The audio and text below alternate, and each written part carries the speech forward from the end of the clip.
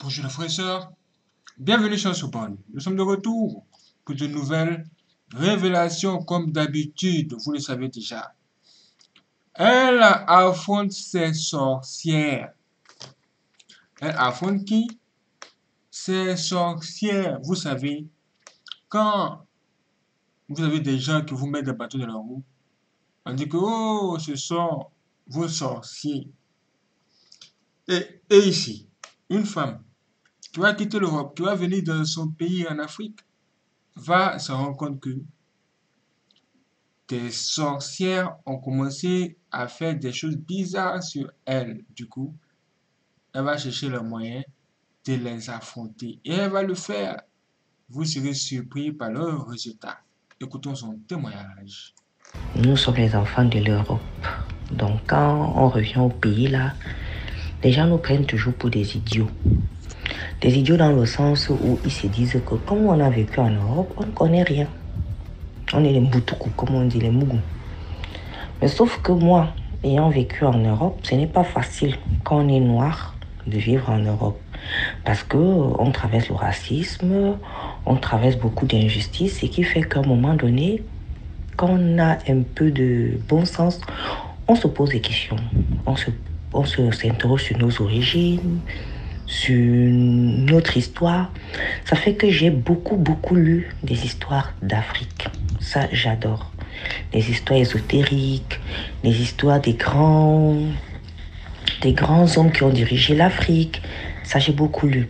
Ce qui fait que dans mes lectures, j'apprenais beaucoup de petites choses, comme par exemple, je savais que, bon, les sorciers n'aiment pas les l'ail, ça c'est connu de tout le monde. Les vampires, on dit les vampires n'aiment pas l'ail, ça c'est en Europe qu'on le dit. Et oh, j'avais cru entendre un jour que les sorciers, ils ne supportent pas qu'on les fouette avec les feux, les jeunes pousses de feu de macabo. Bon, ça j'avais entendu comme ça, voilà. Un jour, je rentre au Cameroun, passer mes petites vacances tranquille en famille. Et je suis dans la maison familiale, même pas maison familiale, dans la maison de ma mère adoptive. Donc j'étais là. Ma mère ne vivait pas à Yaoundé, à la capitale. On avait acheté un petit terrain là, à la sortie de Yaoundé, où ma mère aimait bien aller rester là-bas, cultiver ses champs, faire l'élevage. Et elle venait de temps en temps me rendre visite, comme je suis le dernier enfant. Elle venait me rendre visite, des repas, elle était très fière. Sauf que j'ai mon grand frère, le troisième enfant de la famille. Il a fait ses enfants, mariage normal, il a fait des enfants. Sa seule fille qu'il a fait, parce qu'il n'a fait que des garçons, il a une seule fille. Cette fille, ma mère est partie la prendre, qu'elle reste avec elle. Bon, elle reste avec elle là-bas. Ah, elle est avec sa mamie. Moi, jusque-là, tout va bien. Un jour, je suis là. Je vois ma mère qui se pointait sur le portail. Je pas j'ouvre. Elle me dit, ouais, ouais, ouais. Tu es toi seule ici. Je t'amène euh, ta nièce. Et moi, j'ai pas de souci. J'ouvre le portail. Moi, j'installe. Est-ce que c'est ma maison? La maison, j'ai à 19 ans. Non. Moi, je suis squatteur. Je ne veux pas empêcher les autres de venir aussi de manger les miettes. Viens t'asseoir. On s'assoit là, ma nièce. La première nuit, je dors. Je rêve qu'on couche avec moi dans la nuit. Wonderful. Dès que je ferme les yeux comme ça, on est sur moi. Hey, je ferme les yeux. Hum, ça ne me laisse pas. Le matin, je me réveille. Je suis épuisée par cette nuit mouvementée. Je vois vraiment que non, on m'a vraiment touché la nuit. Je dis que l'affaire si je suis venue faire pour au Cameroun. On m'a dit que ne viens plus souvent ici là. Je signe toujours que oh mes origines, oh la famille, oh oh oh. Voilà maintenant ça que je ne dors pas la nuit, on couche avec moi. Et puis j'ai une petite ampoule qui s'allume sur ma tête là. Je regarde ma nièce. Parce que quand ma nièce est venue, dans ma chambre, j'avais mon grand lit de deux places. En face au lit de deux places, comme ça, en perpendiculairement, il y avait un lit à étage de une, une place. Que ma mère adoptive avait mis ça parce qu'elle avait reçu une fois les enfants d'une de ses copines qui étaient venues habiter chez nous en attendant qu'ils aillent en Europe. Donc, ils habitaient là. Une fille, deux filles et un garçon. Les deux filles dormaient avec moi dans leur lit là-bas. Moi, j'avais mon lit seul. Et le garçon dormait dans une autre chambre. Donc, ma nièce avait dormi dans un des lits là. Hum. Je me réveille au matin épuisé par l'aventure de cette nuit-là. Je la regarde qui était là. Elle me regardait avec les gros yeux et dormait. Elle me regardait avec les gros yeux et ne dormait pas. Je me souviens que j'avais entendu une anecdote quand j'étais un peu plus jeune que ses grands frères et ses grands frères et elle étaient, avaient été amenés au tribunal dans leur village où ils vivaient parce qu'ils avaient mangé un de leurs camarades d'école à la sorcellerie. Des petits enfants, hein? Hum. Des petits enfants. Parce que moi, je suis le dernier enfant. Je n'ai même pas l'âge de mon du premier petit-fils de ma mère. C'est-à-dire que le petit, premier petit-fils de ma mère a 10 ans d'écart avec moi. 10 ans d'écart. Et celle-là, ce n'était pas la première petite fille. Donc, je me souviens de ça. J'ai dit dans ma tête que ça peut faire comme ça que c'est la petite fille qui est venue me toucher toute la nuit. Hein. Je ne dis rien. Je pars au matin pour me laver. Je cherche une de mes culottes dentelées noires. Maman, je ne vois pas la culotte. Je cherche mon sous-vêtement. Je voulais faire ma lessive de sous-vêtement. Je ne vois pas. Je me suis dit que, ah, comment t'as même touché toute la nuit là? Lave même tes sous-vêtements, même ce que tu as dormi avec. Va laver une bonne fois. Hmm? Je ne vois pas. Dans la maison, j'avais deux nièces qui étaient venues me rendre visite.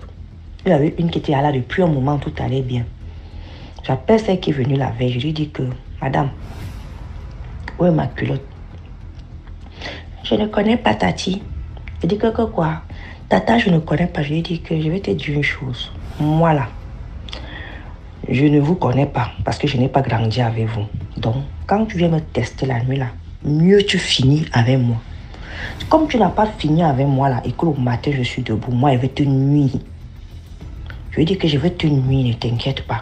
Je te donne jusqu'à midi. Tu as toute la maison. Je m'avais fait la cuisine, même enfermé à la cuisine. Quand je reviens, si je ne trouve pas ma culotte posée quelque part, même dans ma penderie cachée, sache que hmm, tu vas pas passer un bon quart d'heure ici. Le séjour que tu es venu faire là, tu vas me dire pourquoi tu es venu ici là. C'est aujourd'hui là que tu vas savoir que je ne porte pas le nom de ta grand-mère pour rien. C'est aujourd'hui là que tu vas comprendre pourquoi même mes grands frères se méfient de ma tête. Elle croyait que je blaguais. Je suis partie à la cuisine, je fais la cuisine, tout, tout, tout. À midi, j'appelle, venez manger. Elles viennent là, on s'assoit à table, on mange. Je pars dans la chambre. Je fouille un peu les petits recoins. Je vois que ma culotte n'est pas là. Je l'appelle encore. Je dis que ma culotte est où? Elle me dit que ma culotte n'est pas là. J'ai dit à sa grande cousine que monte un peu, sors un peu. Le portail qui après, là, deux portails après nous là, tu sonnes. Ils ont souvent les jeunes pousses de macabo là. Je leur demande si tu peux me cueillir ça. Je dis que je sais parce que comme ils ont le salon de coiffure, je suis allée me coiffer là-bas l'autre jour, j'ai vu ça. Pardon, va, tu cueilles ça, tu viens me donner. Ma nièce me dit, tu vas faire quoi avec ta Je lui dis que tu vas voir, ne t'inquiète pas. Tu vas confirmer aujourd'hui que moi-même, je ne suis pas doucement. On part. Elle part, elle cueille les jeunes pousses au macabo, elle revient avec. J'appelle ma nièce, je lui dis que viens ici, elle commence à trembler. Je lui dis que tu as compris, non? Elle me dit que tata, je ne connais pas où est ta culotte. Je lui dis que tu vas sortir la culotte là aujourd'hui. J'ai pris les... Vous voyez les jeunes pousses au macabo là, non, DMG Tu tapes ça sur ta peau comme ça là, ça ne fait pas mal. J'appelle sa grande nièce, sa grande cousine qui est partie cueillir. Je mets ça sur elle comme ça. Elle me dit que, Tati, qu'est-ce que tu fais? Je lui dis que, regarde, je mets sur ma nièce là. Hey L'enfant se tord comme le serpent. Elle pleure, elle crie, le rhume sort sur ses yeux, sur son nez, sur les yeux, partout. Elle pleure, elle crie, pardon, Tati. Tati, j'ai dit que je dors la nuit, tu viens me baiser. Tu es devenu quoi? Tu es mon gars? Tu connais comment, comment me satisfaire jusqu'à la nuit. Tu viens m'empêcher de dormir. Tu viens réveiller les esprits sur moi. J'ai fouetté l'enfant là. Hmm. Pendant que je la fouettais, je l'ai fouetté. Un moment, j'entends son au portail. On vient m'ouvrir. Je pars. Je dis à ma l'autre dit ça, sa cousine, que va ouvrir. Sa cousine vient ou pas ouvrir. Elle me dit que c'est grand-mère. Elle dit que ouvre ma grand-mère commence à m'insulter. Tu tapes l'enfant de quelqu'un, tu te crois ou tu connais comment on accouche un enfant. Ah, tu vas accoucher pour toi, on va voir comment tu vas élever. Je dis que maman, qui t'a alerté que je t'appelle l'enfant ici avec euh, les trucs de Macabou Je dis que toi, mais la maman, tu t'amuses, je vais te fouetter avec. À l'heure, si la chacun sauve sa tête, tu m'as déjà sorti de ton ventre. Donc, vous ne pouvez pas jouer avec ma vie. Quelqu'un ne peut pas courir avec mon esprit dehors. Je suis là, je vous regarde. Demande à ta petite fille où elle a mis ma culotte. Tant que ma culotte ne sort pas, elle ne va pas dormir ici. Je vais la fouetter avec les machines de Macabo aussi. Jusqu'à. C'est ça qui va la tuer. Elle va expliquer au tribunal comment les petits jeux de Macabo, les jeunes pousses de Macabo, les jeunes, les jeunes feuilles de Macabo peuvent lui faire mal. Ma mère, Bafadi, Bafadi, Bafadi, allez dans la chambre, fait la valise de ma nièce, la porter, ils sont partis le même jour. Et fin de compte, il s'est avéré que ma mère même était compliquée parce qu'après, elle nous a compliqué la vie, elle nous a nuit. Père son âme, aujourd'hui, elle est décédée. Elle est décédée. Donc, pour vous dire que parfois, hein, le loup n'est pas chez le voisin. Le loup est dans votre chaussure. C'est l'orteil que vous avez, le gros orteil là, qui perce souvent votre chaussure pour vous souiller en que vous avez les chaussures percées. Donc, voilà l'histoire que moi j'ai vécue. Waouh, quelle histoire hors du commun. Vous avez entendu ça? Ah, nous avons nos propres ennemis chez nous. Faites très attention. Waouh, nous allons écouter encore notre témoignage. C'est parti. Je me rappelle quand j'avais l'âge de 7 ans, 8 ans. Vu que j'ai grandi dans la ville de Douala, ma mère, il y avait moi que ma mère avait parce que nous sommes six à ma maman. A- les trois premiers sont, étaient ici à Yaoundé parce que je vis ici à Yaoundé. Nous étions les trois derniers à vivre avec notre maman, dont moi, mon petit frère, ma petite soeur. Ma mère, ma mère, tellement que ma mère était pauvre. Ma mère, quand je dis elle était, parce que je ne sais pas si elle vit, si elle est morte, était pauvre que elle travaillait, donc genre, elle, elle rendait toujours service et c'est à partir de là que les gens l'appréciaient, les gens lui faisaient demande une faveur, les gens l'aidaient. C'est comme ça qu'un monsieur, elle est partie louer une maison sur un monsieur musulman.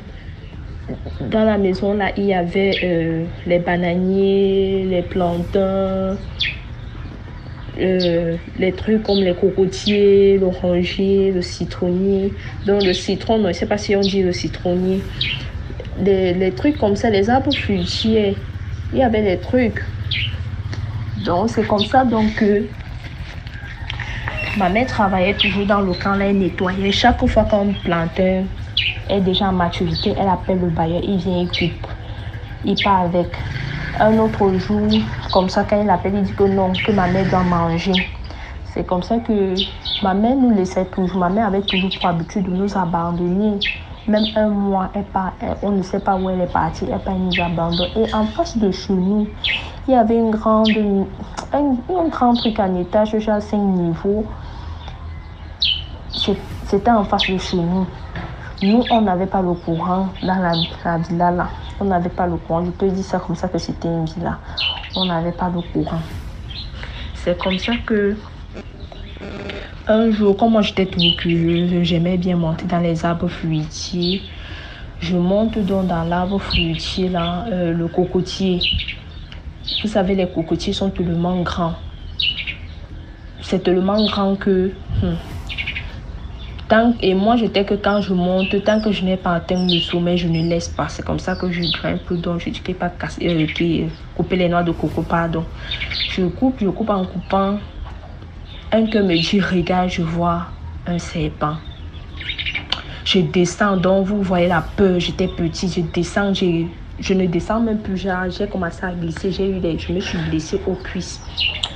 Un autre jour comme ça là, j'ai dit ça à mon petit frère, ma petite soeur. Mon petit frère m'a dit que, je ne monte plus. Un autre jour comme ça là, on a envie de cueillir le citron pour aller vendre. Je vois un truc qui fait genre, c'était un bébé, un bébé serpent. Moi, je me suis dit que c'était le ver de terre. Quand je regarde bien, je vois comment il sort sa langue. Je dis à mon petit frère que, hey, c'est le serpent.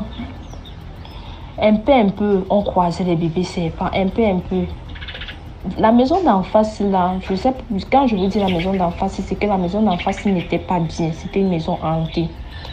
Une maison hantée, comment, genre, il y avait toujours les hiboux et les corbeaux qui étaient toujours positionnés, ça envahissait parce que c'était un truc euh, abandonné.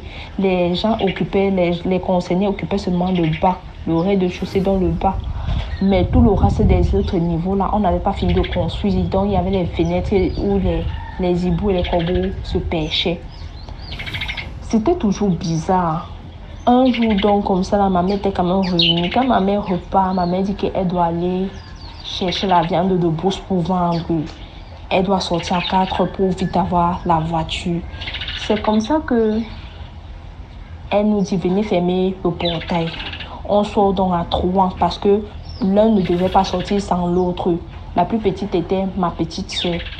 Elle était tout derrière nous. C'est comme ça qu'on ferme bien le portail. Il n'y a personne. À 4 h du matin, on finit de fermer le portail. On rentre, on dit que on part dormir, on ferme bien les portes.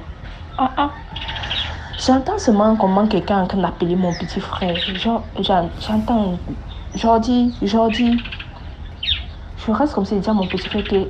Après, je dis, maman, tu es revenu, tu as oublié quelque chose. Ma mère, c'était pas ma mère. On reçoit encore à trois, on vérifie, on regarde s'il y a quelqu'un, on ne voit rien. Et sans vous mentir, le secteur où on était, c'était, ça ressemblait, ça sentait seulement la sorcellerie. Ça sentait, genre, c'était bizarre. Genre, comme si c'était cimetière, un genre. Parce qu'il y avait aussi notre maman à côté. Vous savez, à Douala, dans certains secteurs, ce sont les maisons calabout. Donc, au voisin d'à côté était avec une maison en calabout. C'était bizarre. Dans le, truc étage aussi, là, il y avait une maman là-bas, bizarre en fait. Quand elle, sortait souvent par devant pour venir sacler derrière, elle vient, elle sacle le derrière de notre côté de sa maison. Elle était trop bizarre. Et qui elle appelle comme ça, elle appelle mon petit frère. Et mon petit frère, au départ, a des problèmes de vue. Il a les yeux comme le poisson sol. Donc, c'est le vent qu'il ne voit pas bien. Et il est déjà très calme, toujours dans son coin. C'est comme ça qu'elle appelle. Je dis à mon petit frère, on rentre encore. La même voix réappelle mon petit frère. Je dis que ouais, c'est même si on entre, on reste tranquille. Mais deux. C'est comme ça qu'on entre le matin, arrive. L'histoire, si ça me fait un genre, je dis que ouais, c'est quoi comme ça? Les gens cherchent seulement à nous faire peur ou bien je ne sais pas. Mais ça que la journée là, comme moi, je, partais souvent laver le sol dans les maisons des gens pour qu'on me donne un peu l'argent ou bien à manger pour pouvoir euh, donner à mes petits frères. Parce que ma mère, vraiment, sans vous mentir, on était trop pauvres, abandonnés à nous-mêmes. C'est comme ça que je, je suis donc partie. Je lavais les sols chez les mamans celle qui avait le moulin. Il y avait une dame là qui avait le moulin. Je partais souvent les dents laver les Parfois, ils me donnaient à manger. Je viens, euh, je mange avec mes frères et soeurs. Parfois, on agonisait même de famille. On n'avait rien à manger. Tout simplement parce que ma mère, ma mère nous abandonnait toujours. C'est comme ça que un jour donc, ma mère rentre, j'explique à ma mère, ma mère me dit que comment ça, ce n'est jamais elle qui, a appelé mon petit frère. Mais toujours est-il que la femme s'y regardait, nous regardait trop bizarrement. C'est comme ça que ma mère dit donc il faut qu'on quitte de là on quitte de, la maison là. Les gens ont commencé à dire à ma mère que comment tu peux abandonner les enfants comme ça, que la maison n'est pas bien. La maison là est bizarre. Comment quelqu'un peut te dire qu'il te donne la maison Joe, machin, truc et tout ça. Et sans vous mentir, ma mère était dans les églises réveillées. Quand ma mère pardonne, on part dans ces églises, on peut dire à ma mère que effectivement la maison n'est pas bien. Que ma mère, si ma mère restait encore là avec nous, ma mère allait nous perdre. Hmm. C'est comme si c'était seulement l'enchaînement qu'on louait seulement dans les maisons où il y avait les mauvaises choses. Prochaine maison qu'on on peut habiter. C'est notre bailleur qui a enterré le chat vivant. Le chat vivant, le chat là devenait ou c'est le tigre ou c'est la panthère la nuit. Mais là n'est même pas par rapport à notre bailleur. Là, c'est la générosité de ma mère Ma mère a hébergé une dame chez nous qui sortait la nuit. Je m'explique. Une dame, vrai, fait comme on dit souvent, on dit souvent qu'il y a les gens qui partent dans les églises, ils déposent leur sorcellerie dehors. Quand ils entrent encore, euh, quand ils ressortent, ils reprennent les sorcelleries, ils portent, ils partent avec. C'est ce que moi je voyais parce que la dame là, vraiment, elle parlait de God ici, elle priait, vraiment, il faut machin truc. Elle était concentrée dans God, mais un jour donc on l'a frappée. Mais quand ma mère est belge, elle dit à ma mère qu'elle n'a nulle pas où aller, machin cru. Vraiment, laissée en crise parce que ma mère était trop généreuse, toujours en train d'embrasser les gens, même sans toutefois connaître qui elle embrasse. C'est comme ça qu'elle demande donc à la dame de, de venir rester chez nous. C'était une chambre, cuisine, salon. La douche est à l'extérieur. C'est comme ça que une, une fois comme ça, ma mère, ils sont rentrés de la prière. On, on finit de prier, on dort donc alors. Ah! On avait d'abord remarqué, on avait d'abord remarqué que chaque matin on se réveille, c'est comme si on nous a tapé. C'est comme si on nous a tapé. On nous a tapé, on ne comprend même pas. On a mal au corps, on ne comprend rien. Ah ah! Même pendant une semaine comme ça, là, les plus petits tombaient même malades. Mon petit frère, ma petite tombait malade. Comme toujours, moi, ma curiosité, c'est là. Voilà donc une nuit, donc alors on nous tous dort parce qu'on partageait la même chambre avec elle. Ma mère avait dit qu'il n'y a pas de quai, pas dormir au salon. C'est ça, ça en Christ et tout. On dort donc alors. Ah ah. Dans la nuit, on constate comment. hum, je, me dit réveille-toi. Je me réveille, je vois comment il y avait un trou. Un trou. Parce que nos cobayens n'avaient pas fait la fenêtre dans la chambre, la chambre où nous tous on était. Donc il avait fait un petit trou en haut. Un petit trou. On voit comment la dame est en train de regarder le trou là. Elle est en train de faire des incantations. Elle fait des incantations. Mais je parle de la chair de poule. Elle fait des incantations. Elle fait des incantations. Elle parle jusqu'à elle commence à trembler. Ou elle était en train en transe ou de ces choses ou je ne sais pas. Ma mère, je, je, je tapote ma mère comme ça là. Je tapote ma mère. Ma mère se réveille. Je dis à ma mère que regarde ce que ta copine est en train de faire. Ma mère n'appelle pas son nom, elle ne comprend pas. Donc elle était déjà en train de. Où elle sortait pour voyager, ou je sais pas. Où elle était, en- on l'attendait déjà à l'extérieur là-bas, je sais pas. C'est comme ça que ma mère la secoue. Ma mère la secoue. Quand elle revient en elle, elle dit à ma mère que quand vous me voyez sur cette position-là, faut plus. euh, faut plus. Faut plus souvent me déranger. Parce que quand on m'attend comme ça, je ne dois pas perdre le temps. Hey, ma mère dit qu'on t'attend où? Ma mère reste tranquille, elle part donc voir le pasteur de l'église. Elle raconte la scène au pasteur de l'église. Le pasteur de l'église dit qu'il a compris. C'est comme ça que le vendredi, on, a, ma mère, on avait souvent euh, nuit de prière le vendredi. Quand on part donc alors dans la nuit de prière, on fait la prière, on commence à prier, prions, le pasteur commence à prêcher, dit qu'il y a des gens ici, tu tends la main et tout et tout. La personne là qui peut te tuer et tout et tout. C'est comme ça que euh, on prie donc. Pam, quand on commence à prier, donc on prêchait, ça, on prêchait particulièrement ça. Donc c'était la prédication, c'était fi- fixé sur elle, mais genre un genre, un genre. Donc quand on prêchait comme ça, on priait un peu. Parce que vous savez, chez les, églises réveillées, ils, ils prêchent, ils prêchent, après ils prient sur la parole là.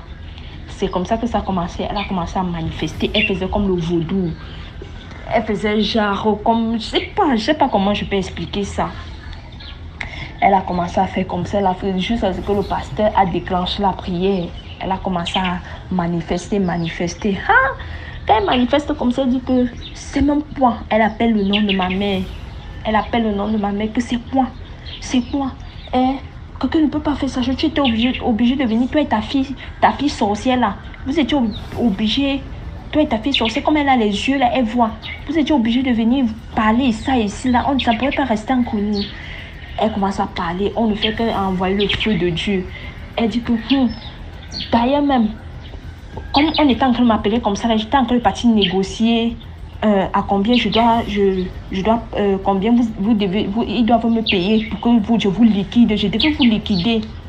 Elle parle comme ça, elle, dit comment elle devait nous liquider, comment vraiment, machin, cru que moi j'ai une étoile très forte, c'est mon étoile qui, a, qui nous a sauvés et tout et tout, machin, comment ma mère et tout et tout, que j'ai les, euh, les yeux qui voient, mais pour moi c'est pour voir le danger et voir les mauvaises choses. Je vais parfois, il va m'arriver souvent de parler comme ça quand je, on me montre les choses, je parle, donc j'ai les visions et tout et tout, et c'est vrai.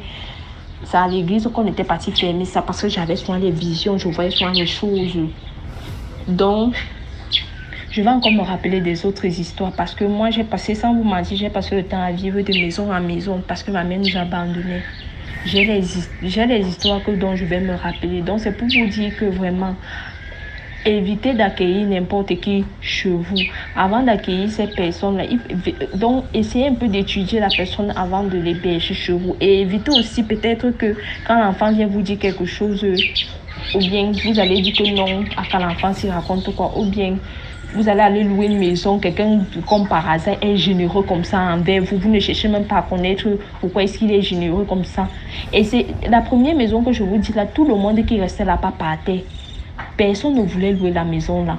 Personne ne voulait louer la maison là. Personne. Donc, quand on comprend bien, c'est que c'est la dame d'en face qui a eu à, qui faisait les, les, je sais pas, les pratiques, la sorcellerie, quoi, qui avait fait les mauvaises choses dans la maison de l'homme musulman là. Pour finir, l'homme musulman l'a abandonné la maison là, que ah, lui ne connaît pas lui la qualité là. Donc c'est pour ça. Vraiment, je veux sensibiliser les gens que ce n'est pas forcément nous-mêmes les gens de chez nous qui vont gâter nos maisons, même les gens qui sont à côté de vous, qui sont jaloux, peuvent venir gâter votre maison et tout et tout. Donc il y a ça. Évitez d'héberger n'importe qui. Ce n'est pas que parce que vous avez vu la personne souffrir. Certes, moi-même, je suis comme ma mère. Je suis en train d'embrasser les gens. Mais maintenant, la leçon pour beaucoup de choses que j'ai vécues m'a permis de, de me ressaisir. Donc voilà, moi-même j'ai ma propre histoire, ma propre histoire, mais ça c'est pour un autre jour. Donc c'est un peu ça que je voulais raconter. Merci. Waouh, vous avez entendu ça? Vous avez entendu ça? Ha C'est pas terminé. Nous allons découvrir la suite dans la prochaine vidéo sur ce bon. Ça arrive tout à l'heure. Restez connectés.